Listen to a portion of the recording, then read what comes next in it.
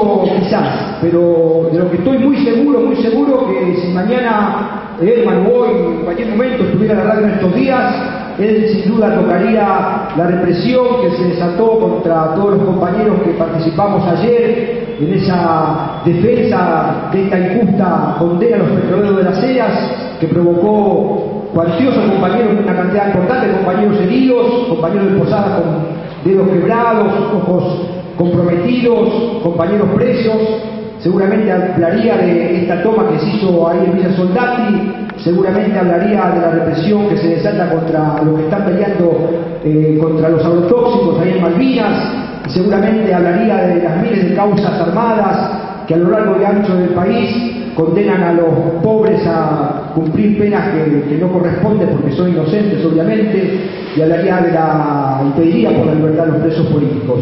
Convencido de que en ese camino de la información clara, precisa, independiente eh, es una cosa muy importante que vería más aún las cabezas de nuestros compañeros para forjar ese futuro que queremos que, que- que nos eh, debe interesar y que, que merecemos un futuro digno, eh, justo, eh, que queremos y apostamos a que leña al fuego continúe y es por eso que hacemos esta actividad. Así que los dejo de compañía de los estos compañeros que no hace falta presentarlos porque ya sabemos quiénes son. Gracias a ustedes.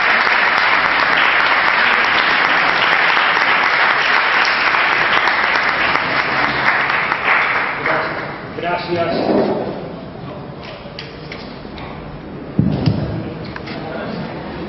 Sí, no. Sí, Gracias a Abelardo Martín, cantante piquetero, cantante de la clase obrera, cantante popular, que por supuesto, a pesar de su talento y, y- y de las letras incisivas que ha incluido en su repertorio, jamás va a llegar a la televisión, jamás va a llegar mientras esté en el poder. Eh, eh, eh, la, la lucha algún día lo va a hacer llegar a los lugares donde merece. Gracias, Abelardo Martín, por su participación.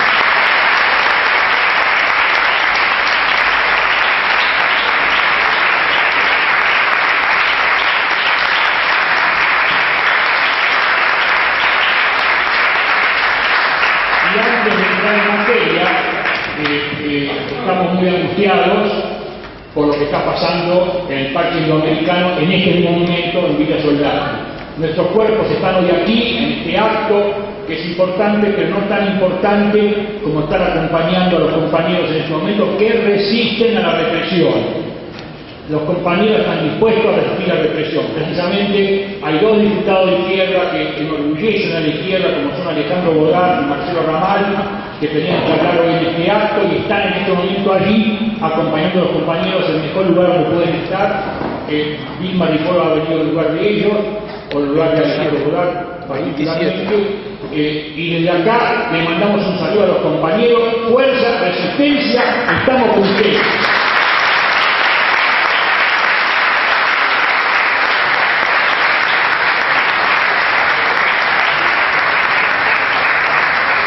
Y ahora sí, entramos en materia. Queridas compañeras, queridos compañeros, Sacar los pies del plato no es fácil, sobre todo en materia de medios de comunicación. Sacar los pies del plato en ese ámbito gravitante significa no hacer concesiones, ser lo menos pragmático posible y repudiar claramente a todas las corpos, las corpos oficialistas y las corpos de la oposición de derecha. Y a esta altura del partido, por más espejitos de colores que nos vendan y por más trucos dialécticos que pretendan sacar de la galera, sabemos muy bien que ambas corpos, Clarín y la Nación por un lado y los medios que son manejados desde la Casa Rosada por el otro, son de derecha. No hay corpos buenas y corpos malas, ambas son de derecha quienes tienen en sus manos ese instrumento feroz de manipulación que son los medios, pelean por desplazar a sus rivales no para que el pueblo acceda a la información real. Es en realidad la guerra mafiosa entre Al Capone y Luciano, una guerra despiadada en la que todo vale y el pueblo, las masas, están al margen. Nosotros intentamos durante mucho tiempo un camino riesgoso en medio de las balas para hacer un periodismo antisistema dentro de los medios del sistema, dentro de los medios del sistema. Y lo intentamos dentro para aprovechar las contradicciones de los que mandan y porque ellos tienen por ahora la potencia real para llegar a la gente.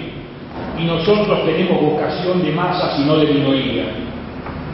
Por eso, por eso, autodefinirse en ese terreno árido como marxista y revolucionario y hasta pasar de vez en cuando las estrofas de la internacional resultó poco menos que la quimera de un alienado. Y sobre todo significó durante muchos años nadar contra la corriente, dormir con el enemigo y ser sapo de otro pozo en todas partes y sobrevivimos todo lo que pudimos. De la radio judía nos echaron porque llevamos al embajador palestino y porque en el tema de la masacre de la AMIA siempre apuntamos al aparato del Estado, sobre todo la policía y los servicios de inteligencia, resortes históricos del fascismo real en Argentina, y no a los esotéricos fundamentalistas de las lejanías que por exigencia del imperialismo y de la derecha judía han sido acusados prácticamente sin pruebas. Allí llegamos a estar tres años, hablando de lo que hablamos siempre, de la injusticia social, de los pobres, de la criminalidad de los sectores hegemónicos, de la utopía socialista. En Radio de la Ciudad, la radio oficial de esta urbe devoradora, hicimos lo mismo durante 13 años, denunciando las perversiones del sistema y dándole micrófono a los de abajo. Para ello zigzagueamos, gambeteamos, eludimos como pudimos a los más variados gobiernos y funcionarios imbéciles y fieles al régimen. Al final nos tuvimos que ir, porque el detonante fue una emisión que titulamos ¿Por qué Macri tiene que ir preso? Y solo dijimos la verdad, porque Macri debe ir preso, entre otras razones, por ser partícipe necesario del proxenetismo y el trabajo esclavo. Y como estamos convencidos que no hacemos periodismo panfletario o consignista, sino que traemos la información con pelos y señales, la denuncia le llegó hasta el fondo del alma, para no decir hasta el fondo del caracú, porque establecimos fehacientemente los vínculos del jefe de gobierno de la ciudad autónoma de Buenos Aires con esas lacras producidas por lo peor del capitalismo y el afán de lucro. Dicho sea de paso, aquí mismo en la legislatura, no hace mucho, tuve la oportunidad de conducir una actividad organizada por el diputado Godard, donde exhibimos una película filmada con cámara oculta por la Fundación La Alameda y que revelaba claramente que el señor Macri es un proxeneta que avaló la reducción a la servidumbre, servidumbre laboral y servidumbre sexual. Y a principios del 2013 logramos anclar en Radio Cooperativa, una emisora que nació en el Obispado de Avellaneda y ahora se encuentra inequívocamente ligada al Gobierno Nacional. Varios amigos de buena fe gestionaron para que nuestra presencia aquí fuera posible. Para ello apareció un argumento que pareció convincente. es un histórico de los derechos humanos. Por supuesto que acepté y agradecí haciendo la salvedad de que seguiría con la línea de siempre, una línea de izquierda, si se quiere, de izquierda revolucionaria y de denuncia de las violaciones a los derechos humanos. Me parece haber sido suficientemente claro en este aspecto, pero como suelo ser muy autocrítico, podría admitir la posibilidad de que en el afán de volver al aire, mi claridad no hubiera alcanzado la suficiente potencia como para que mis interlocutores entendieran qué tipo de periodismo hice a lo largo de los años y cuáles son las expectativas que coloca un sector de la sociedad sobre mi tarea profesional. Y es posible, es posible que hayan supuesto que solo iba a hablar del socialismo en el siglo XIX y solamente iba a hablar de los crímenes de Videla. De todos modos, no creo haber engañado a nadie. Ya en la primera emisión, transmitida el 2 de marzo del 2013, participaron tres referentes de las luchadoras más incisivas de Argentina de nuestros días. Miriam Bregman, del CEPROT, el Centro de Profesionales por los Derechos Humanos, María del Carmen Verdú, de la Correcti y la Coordinadora contra la Represión Policial e Institucional, y Diana Cordon, del Espacio Memoria, Verdad y Justicia, que en la oportunidad, y como no podía ser de otra manera, fueron muy críticas con el gobierno en el tema de los derechos humanos actuales. En esa emisión inaugural, María del Carmen, apenas empezó el programa, recibió una amenaza de muerte telefónica, una amenaza que también indicaba que también en este caso jugar con las reglas nuestras, pero en el terreno de ellos, no iba a ser nada fácil. Y no lo resultó. Sin embargo, el programa fue creciendo y rápidamente dejó de ser marginal para convertirse en uno de los espacios de mayor audiencia de esa radio, que habitualmente tiene mucha audiencia, y en una tribuna de los luchadores sociales de distintas corrientes. No obstante, aunque nunca nadie nos dijo nada hasta el final, empezamos a, a sentir lo que los chicos suelen llamar mala onda. Y tenía lógica esa mala onda, porque si la policía de Gildo y la policía de Capitanich asesinaban al hermano Juan, no íbamos a decir que el gobernador de Formosa y el capo del Chaco eran buenos muchachos, ni a negar las más altas responsabilidades por la criminalidad policial y estatal que a diario se viene registrando en todo el país.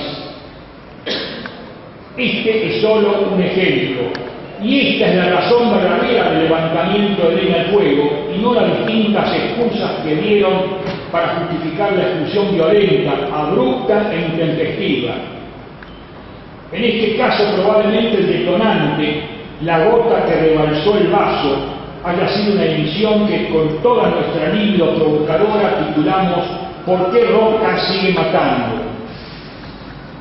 A esta altura de los acontecimientos, que fue una larguísima lucha contra todo tipo de cuerpo mediática, me resulta claro que el propio gobierno, el propio gobierno, si formara parte de la burguesía inteligente, sería el principal beneficiario si tuviera el tino de generar espacios pluralistas donde pudieran expresarse los, los críticos por izquierda.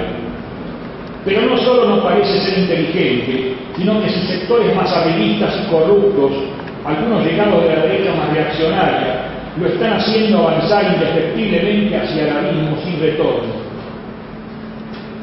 Estos dos últimos párrafos que llegué a leer en la última edición de Línea del Fuego, transmitida el 28 de diciembre pasado, generaron algunas polémicas de este lado de la trinchera, porque algunos compañeros me criticaron la expresión burguesía medianamente inteligente.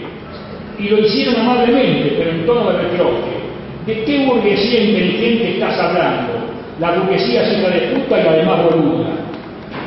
Pero polémicas y conjeturas aparte, el director de Radio Cooperativa, en el diálogo rígido que mantuvimos en la última semana del 2013, me dijo que con el tipo de programas que hago yo, ninguna radio importante me iba a dar un espacio. Y esto es absolutamente cierto, al menos lo creo yo. No creo que nadie me vaya a dar ahora un espacio en los medios del sistema. Y Radio Cooperativa es un medio del sistema como no son tantos otros que lamentablemente todavía convocan a miles. Pero lo que añado por mi cuenta y cargo es que me siento bastante orgulloso del tipo de periodismo que hago y de la resonancia alcanzada. Creo pertenecer a ese sector de luchadores del pasado que no se han rendido ni se han dejado cooptar por el poder. Nos echaron, nos fuimos y lo hicimos más o menos de pie. Pero también tengo necesidad de subrayar que no deseo exagerar la victimización. Simplemente en un momento determinado llenamos un vacío y jugamos un papel. Y eso es todo. Además agregaría que del sublime al ridículo hay un solo paso. No es fácil soportar que te echen de todas partes y aunque tenga razón no disfruto de ello. Mencioné al director de Radio Cooperativa. Se llama Adriana Módigo y hace algunos meses compañeros que eran de Madrid me trajeron la denuncia de que ese personaje, hoy absolutamente reciclado y convertido en un corifeo hiperoficialista, en la década del 70 había pertenecido al llamado grupo de intelectuales que estaban con López Vega y desde la revista El Caudillo apañaban los crímenes de la Triple A. Alguien, quizás con razón, podría reclamar hoy lo siguiente. ¿Cómo? ¿Ahora venís a hablar de, de las relaciones del director de Radio Cooperativa con la AAA? ¿Por qué no lo hiciste antes? ¿Y qué hubiera pasado si el programa seguía? Las preguntas, pienso, son valederas, pero para salvar mi buen nombre y honor, respondo ante los hipotéticos interrogantes que desde el momento de enterarme no hubo emisión donde en mayor o menor escala no hablara de la AAA. Y lo más fuerte fue un editorial dedicado a Gerardo Martínez, el burócrata patotero de la UOCRA, que sirvió en el batallón 601 de inteligencia de la última dictadura militar y hoy conforma una de las apoyaturas sindicales del gobierno. En ese editorial dijimos que también había que juzgar y castigar a quienes participaron y fueron cómplices de la AAA en aquellos años y hoy están mimetizados en la sociedad y cumplen funciones públicas. Están a disposición las grabaciones de todos esos programas. A fines de enero pensábamos mencionarlo por su nombre y apellido, pero ya el programa había sido levantado y la emisión no salió. Quienes me conocen saben que es así. Acepto la probabilidad crítica que pudieran formular quienes piensan que debía haberlo mencionado antes sin ningún lenguaje crítico. Es posible que tengan razón, pero esta es la verdad y no tengo otra. En medio de condiciones difíciles y adversas, un francotirador como yo, sin partido y sin nadie detrás, hizo y hace lo que puede. Les agradezco enormemente su presencia hoy aquí. Venimos a denunciar el levantamiento de un programa que consideramos verdaderamente independiente y a denunciar que el que nos echó fue cómplice intelectual de crímenes aberrantes. Formular estas denuncias en este edificio no es poca. Justo en este edificio que tiene una larga historia de corrupción y penalidad, bien representativa de lo que es el sistema un edificio al que inclusive se vieron obligados a cambiar el nombre, porque la denominación de Consejo Deliberante ya resultaba el colmo de la vergüenza. Hoy no tengo micrófono. Si lo tuviera desde el primer minuto hasta el último, lo dedicaría a repudiar esta condena obscena y criminal que pende sobre los compañeros de las eras compañeros petroleros que fueron juzgados para escarmentar a los luchadores en una farsa neudella que, como dice Osvaldo Bayer, hace recordar los juicios a los mártires de Chicago de 1837 y el juicio que condenó a muerte a Sacco Ivanzetti en 1927. Y desde este espacio, desde esta tribuna, desde este acto, con toda la voz que tenemos, reclamamos su absolución como lo reclamaron ayer miles de trabajadores a lo largo y ancho del país, pese a la represión y pese al macartismo del teniente Berni.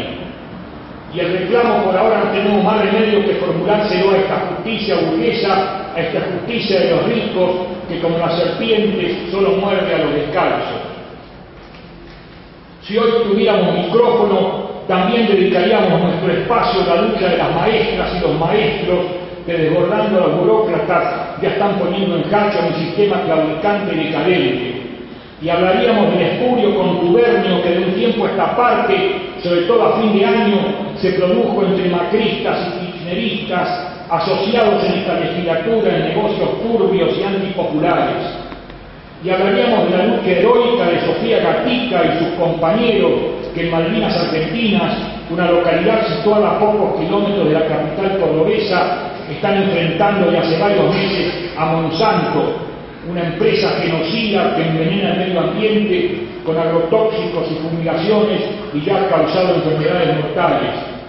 Y hablaríamos de pericidas y de los crímenes que continuamente se están cometiendo en estos momentos contra nuestros hermanos de los pueblos originarios.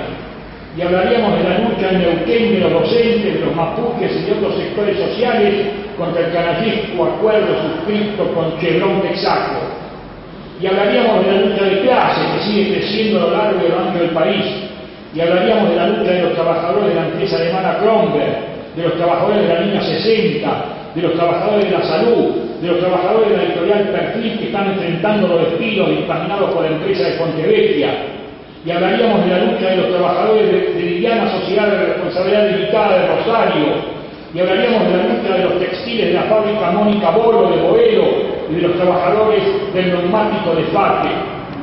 Y, hablaríamos del colapso energético y del colapso del transporte. Y hablaríamos de Osvaldo Quispe, el periodista peruano detenido en Argentina.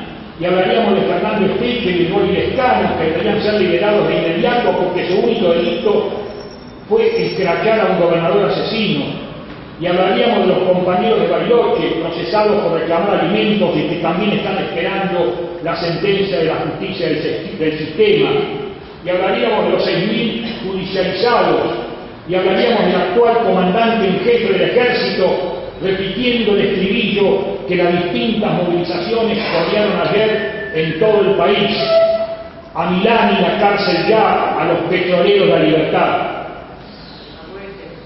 y hablaríamos de los presos políticos de Corral de Bustos, que están encarcelados desde la pueblada que denunció la corrupción de los distintos poderes. Y hablaríamos de que en esta democracia trucha y de baja intensidad, la llamada fuerza de seguridad asesinaron en los distintos, en los últimos 30 años, a más de 4.000 personas inermes por torturas o fusilamientos en comisarías y demás centros de detención, como lo denunció la Correpi. Y hablaríamos de que arriba del 60%, arriba del 60% de esas cuatro mil y pico de personas fueron asesinadas en la década de los derechos humanos. Y hablaríamos de Julio López, Luciano Arruga, Miguel Rubio y demás desaparecidos en democracia. Y hablaríamos de la deuda externa, que ya llega a casi el 80% del PBI. Y hablaríamos de que el 2 de abril del año pasado, cuando mucha gente moría ahogada en Buenos Aires y La Plata por la desidia de las autoridades frente a las inundaciones, ese mismo día el gobierno pagaba 2.330 millones de dólares por dos cuotas de la deuda externa. Y hablaríamos de los 5.000 millones de dólares o más que se va a llevar Rexol mientras los jubilados reciben menos que una mierda. Y hablaríamos de que la Argentina se ha convertido en un verdadero paraíso para los grandes bancos que se llevan del país millones de dólares extraídos del sudor, del trabajo y las lágrimas del pueblo argentino.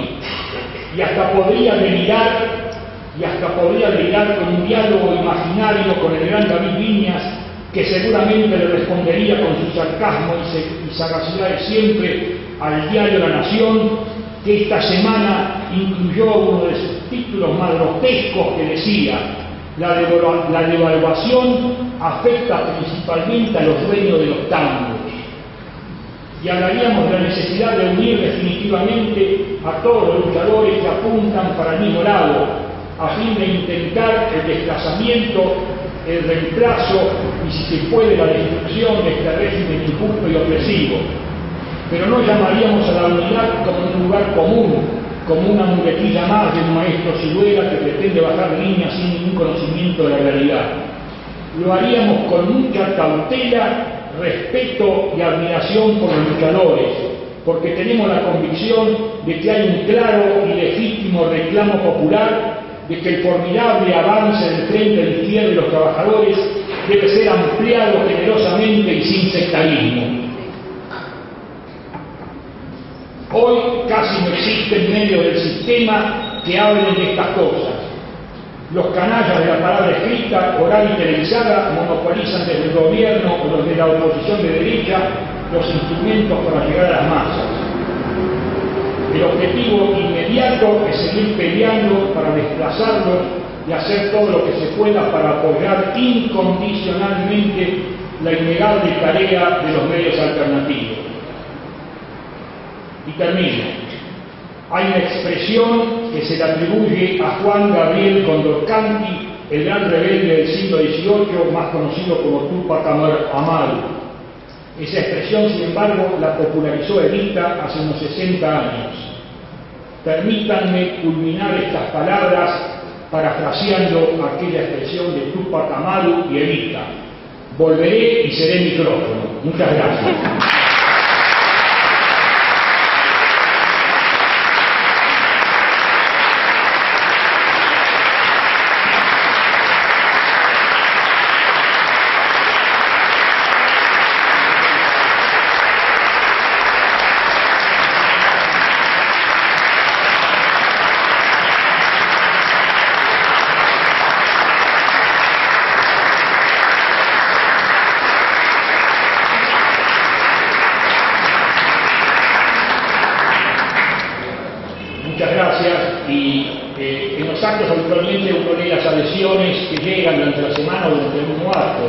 hacerlo hoy subiría varias horas porque son centenares las adhesiones que han de de todo el mundo.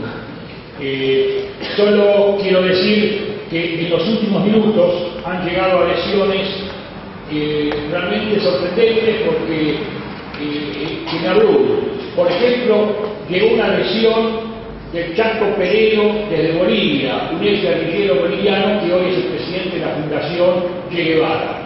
Eh, lo admiramos mucho cuando era guerrillero, hoy sin duda su tarea política genera controversia, pero nos gratifica mucho su adhesión. Y todo lo demás no lo nombro porque sería injusto. Eh, eh, no hay sector que no haya adherido, derechos humanos, estudiantes, clase obrera, etc. Y también agradezco mucho algunas gratas presencias, como la de Gustavo Leber, el, delegado de los trabajadores de Garraham, Elsa Brusone, secretaria del CEMIDA, una gran historiadora y además una gran estudiosa, eh, eh, Héctor, ¿cómo se llama?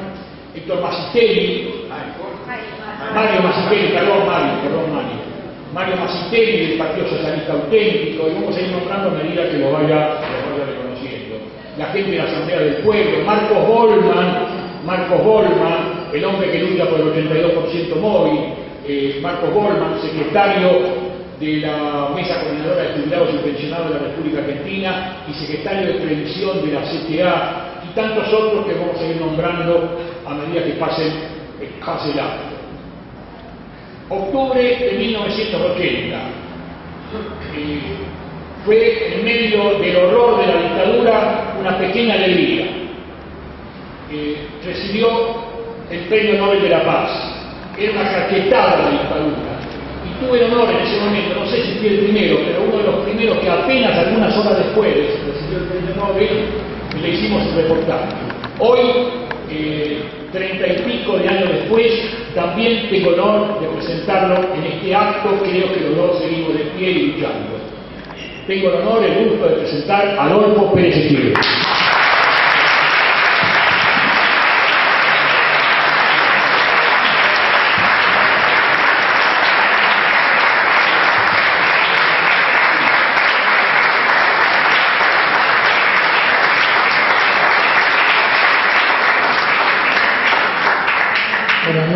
a todos y todas. Eh, decir un honor, ¿no? porque ya es, eh, eh, creo que es una necesidad de estar presente. De estar presente para seguir recuperando los espacios, muchos espacios que se están cerrando, lo que leía hoy a Hernán, no es nuevo, no es casualidad, es decir, día a día se van sacando espacios. porque se vuelve otra vez a los autoritarismos. Quiero señalar algunas cosas. La gran derrota de los militantes es el conformismo. El militante que cree que las cosas ya están es porque perdió. La lucha no concluyó. Y la otra cosa que tenemos que pensar es en esto de la palabra. Que la palabra es energía, no es porque sí. Y creo que cuando se permite la palabra, en este caso el periodismo, pero también la comunicación entre las personas y los pueblos, tenemos que cuidar la palabra. Ustedes saben que con una palabra podemos amar y con una palabra podemos destruir y puede ser tan fatal como un arma. No, también con la palabra se miente, se vacía de contenido. Se dicen palabras, discursos, cosas vacías de contenido. Y en esto tenemos que tener mucho cuidado. En, momento, en una época vivimos de la tecnología, de los medios de comunicación, de la aceleración del tiempo, que no nos deja pensar, porque una noticia nos llega y a los tres minutos ya es vieja. Es decir, casi no hay tiempo de elaborar el pensamiento. Pero también hay otras cosas que tenemos que tener muy en cuenta con todo esto. Este vaciamiento de la palabra, esta rapiña, podríamos decir, de muchas cosas que acaba de señalar Hernán, eh, cómo se utilizan. Y se nos, nos, quieren imponer lo que se habla muchas veces del pensamiento único. Se habla mucho de la libertad de prensa, pero es más la libertad de empresa, la, cómo se manipulan los medios de comunicación. Y esta vorágine pseudoinformativa nos está llevando a algo muy peligroso, que así como están los monocultivos de soja, los agrotóxicos, está el monocultivo de las mentes. Y en este monocultivo de las mentes está también los tóxicos con que se riegan y se fumigan los monocultivos de la mente. Y es así, cuando se habla de la libertad de prensa, eh, muchos están hablando de la libertad de prensa, no son sinónimos. Y esto eh, hay que reaccionar frente a esto. Por eso lo que le pasa a, a Leña al Fuego, eh, está pasando en muchos otros lugares cómo se está banalizando, se está saqueando los recursos justamente para informarnos el monocultivo de las mentes. Yo voy a señalar uno. Yo soy integrante de el IEM, Instituto Espacio para la Memoria, donde entre gatos y medianoche el gobierno nacional y el gobierno de la ciudad de Buenos Aires negociaron para destruirlo y apropiarse de la ex ESMA, donde se va a transformar en un búnker tinerista. Es decir, no permiten el pensamiento propio, la libertad. Siendo un ente autárquico, lo van a liquidar para imponer, y estos son los negociados entre nación y ciudad. Esto es muy claro. Entonces, la banalización de los derechos humanos, de las protestas sociales, de la libertad de pensamiento, eh, nos está llevando a, situaciones difíciles. Que pensamos que esto lo imponía el totalitarismo. Pero hay toda una corriente de ir cerrando las puertas al pensamiento propio. Lo que está pasando, y hay muchos otros espacios que eh, los están bajando en medios radiales.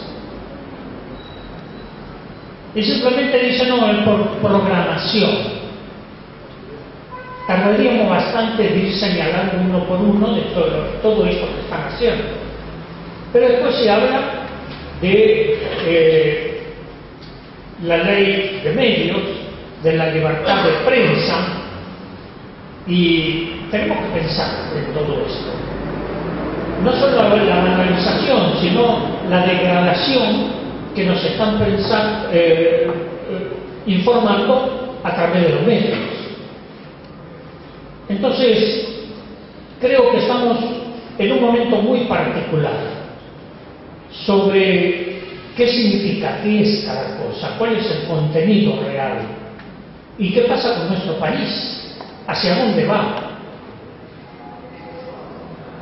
Se habla de un proyecto nacional y popular y en una nota que hice pregunto por favor me lo explican porque yo no lo entiendo.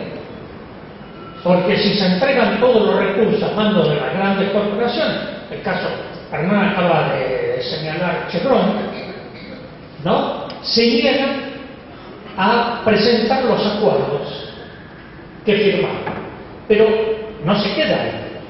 Es decir, se reniega de la soberanía nacional y se someten a los tribunales de Estados Unidos y de Francia. Es curioso, ¿no? ¿Eso es un proyecto nacional y popular?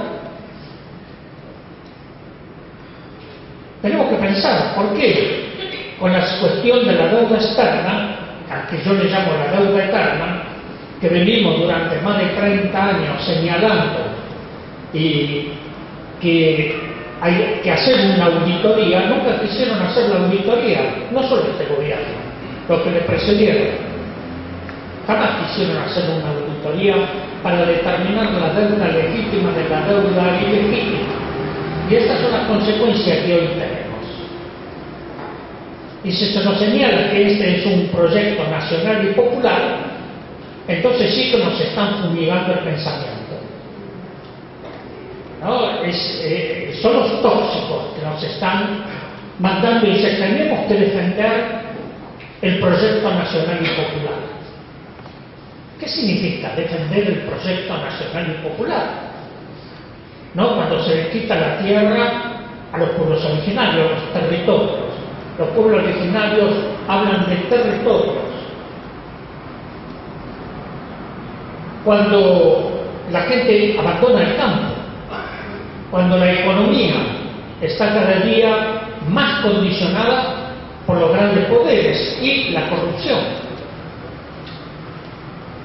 Y uno se pregunta, ¿esta democracia? Eh, yo siempre digo que la democracia no se regala, la democracia se construye. Y se construye día a día. No es un regalo la democracia, como no es un regalo la paz. La paz no es la ausencia del conflicto, es una dinámica permanente de las relaciones entre las personas y los pueblos. Es otra cosa totalmente distinta. Y esta democracia, cuando se habla de democracia y que se suben, como decía Jaurecho, ¿no? Se suben al caballo por la izquierda y se bajan por la derecha. Entonces creo que hoy tenemos estas grandes dificultades. Eh, ¿Qué pasa con nuestro país? Uno tiene que reconocer que algunas cosas se han hecho bien y las hemos apoyado. Pero después, esto que apoyamos los van destruyendo día a día, no la firman, no lo potencian, no avanzan. Y para esto, ¿qué tipo de información recibimos? La información que ellos quieren, pero no una información que realmente parta de, la realidad de la vida de nuestro pueblo. Y ahí vemos hoy la represión, la represión la penalización de las protestas sociales. Yo estuve en Malvinas, en Córdoba, acompañándolo ahí frente a la empresa Monsanto, los piquetes que hay y la represión también, y hemos tratado de apoyar a la gente. Pero así está pasando en el país. Entonces creo que hay que unir voluntades. Estamos muy marcados por el individualismo. No vamos a estar todos de acuerdo, pero sí podemos caminar todos juntos. Es la diversidad. Creo que esto, la gran riqueza de los pueblos no es el monocultivo. La gran riqueza de los pueblos es la diversidad. Esa diversidad que podemos compartirla, de pensamiento, de filosofía, de luchas sociales. Y hoy, lamentablemente, en un tiempo, compañeros, compañeras, que luchamos por una sociedad mejor contra la dictadura militar, hoy, esto que dije al comienzo, entraron en el conformismo, entraron en las negociaciones. Y creo que en esto tenemos que asumir la rebeldía, la rebeldía de conciencia, la rebeldía política, social, para construir una sociedad más justa y más humana para todos. Tenemos un gran desafío, no solo en Argentina, sino en toda América Latina. Si hacemos una breve caminada, vamos a ver que hay muchos intentos de, esta, de los golpes de Estado, hoy lo que está pasando con Venezuela, en Honduras, en Paraguay, los intentos de golpe en Ecuador, en Bolivia, es decir, la gran potencia no se compense que hoy los pueblos están de pie y tienen pensamiento propio. Hay otros que lamentablemente han claudicado. Han claudicado los gobiernos, no los pueblos. Entonces tenemos que repensar esta mirada desde la integridad de América Latina y a nuestro país comenzar a revisar muchas cosas. Que no nos vengan espejitos de colores. No, porque ya hubo demasiado en la época que llevamos de gobiernos constitucionales se ha vendido gran parte del país. Tenemos que recuperar la soberanía y para eso necesitamos voces valientes, voces que denuncien las voces que tengan el coraje de señalar al pueblo argentino, de acompañarlo y de decir lo que debe decir. Así que mucha fuerza y mucha esperanza para todos.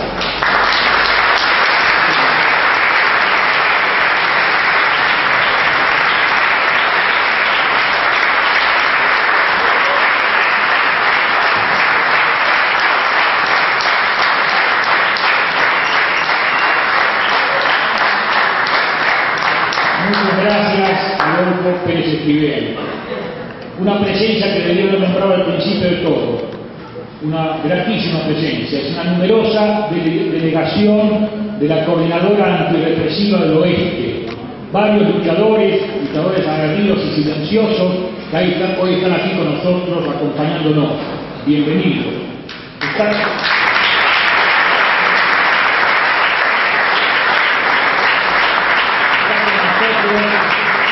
Pablo que es abogado eh, de la querella a, a Patti y a otros genocidas, pero fundamentalmente es un gran periodista y publicó dos libros eh, que son, deberían ser cabecera de muchos militantes.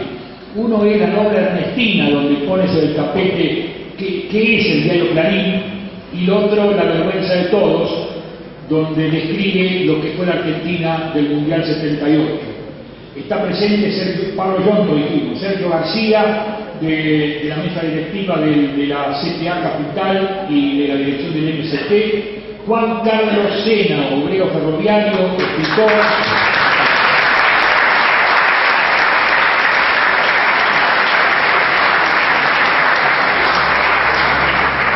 y autor de un libro que era un clásico y, debería ser insoslayable para todo instante, El ferrocidio Además es es eh, miembro fundador del MONAREFA, Movimiento Nacional por la Recuperación de los Ferrocarriles.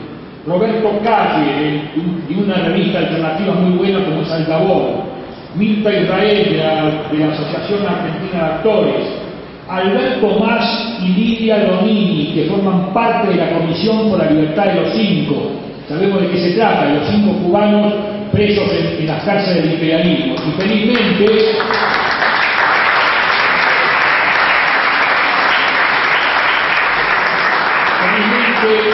Hoy Fernando, los cinco, ya está en Cuba arrancado por la lucha popular en todo